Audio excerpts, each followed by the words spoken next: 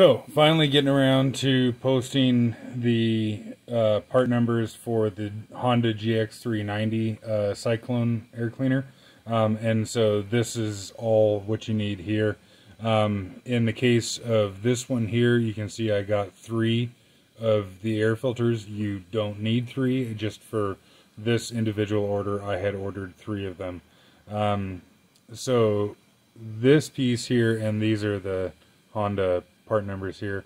Um, this piece here is the elbow that goes from the face of the carburetor um, and is what the air filter actually mounts onto. Um, this is the entire um, top hat to the air cleaner that's got the little pre-cleaner bowls in it and everything. Of course, uh, the element and then the carburetor. The carburetor does change. Um, the original carburetors are non-compensating. They will not adjust for uh, intake restriction. And when you put the pre-cleaner on there, it uh, it induces a little bit of uh, intake restriction. So you have to put that carburetor on there to adjust for that. if you try and run the Cyclone on the uh, factory carburetor, it'll run way too rich and uh, blow smoke and run like shit and spit and sputter and that kind of thing. Um, so what's cool about this deal here is that this here is for, like I said, the uh, the Honda GX 390, and this is the new style of uh, Cyclone cleaner. They have an old style and a new style. The old style, the pre-cleaner bowl, hangs off the side of the um, air filter top hat, and uh, and the old style also uses the original um, air filter, like the air filter part number doesn't change.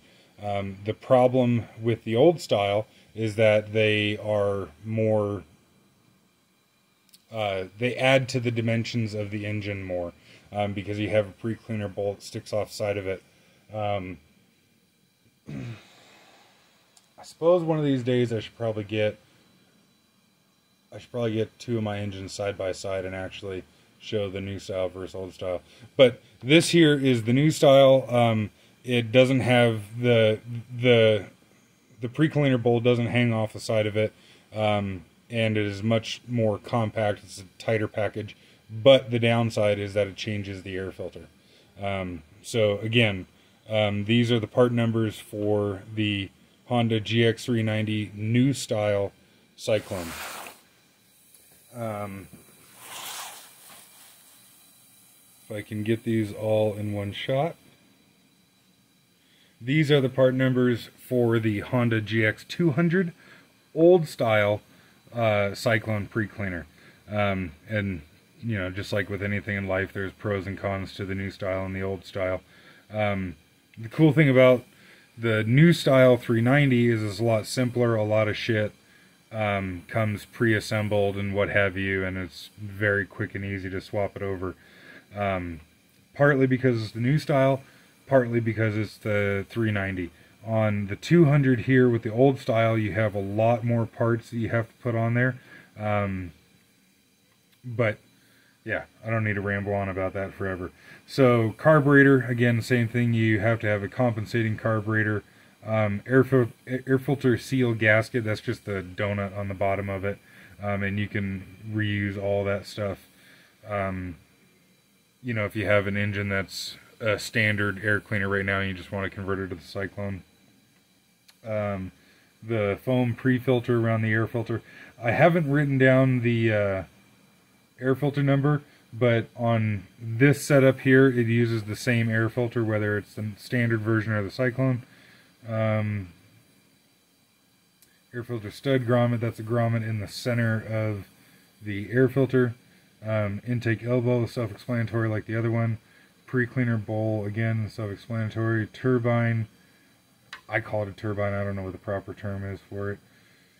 Um, pre-cleaner retaining plate, uh, pre-cleaner bolts, air filter wing nut, again, you can reuse that uh, pre-cleaner elbow, air filter cover, valve cover, and draft hose. Yeah, on the 200 you have to change the valve cover and the draft hose.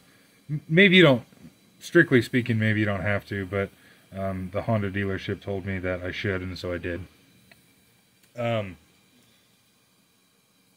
I've got I've got a fairly detailed video on the 200. Uh, you can search in the videos for that. Um, and I've got a somewhat detailed-ish video on the 390.